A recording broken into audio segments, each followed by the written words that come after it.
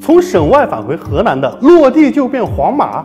四月二十六日，据郑州日报报道，省外返豫入狱人员在查验四十八个小时内的核酸检测阴性证明措施基础上，实施省外返豫入狱落地即付黄码、三天两次核酸检测等措施。毫无疑问，这一消息很快就点燃了网友们的情绪。进河南就黄码，跟一刀切有啥区别？运输货运司机谁还敢进河南啊？山东的告诉你们，这才是保护。检测了没事儿变绿码，我们这边也遇到最新外省绿码到处窜，既不是回家，也不是旅游。后来阳性了，我们一夜担心。为什么河南省会突然推出这一条新规定？这和当地紧张的防控形势有关。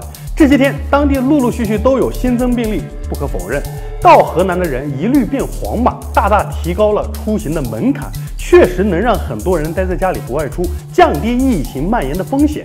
初衷是好的，但这么严格的政策会不会给大家的生活带来不便呢？有网友就说了，自己是省外的，想去河南待一天办事儿，该怎么办呢？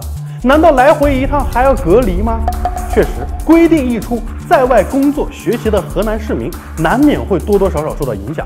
比如非疫情地区的外地人去河南出个差，也要被付黄码，坐不了地铁、出租车，住不了酒店，进不去办事儿的地方，这该怎么办呢？更重要的是，这样一来，很多人原本的计划都不得不变更，甚至还会出现很多人忙着办理转码流程，拨打各个有关部门电话的情况，这岂不是给防疫带来了更大的压力吗？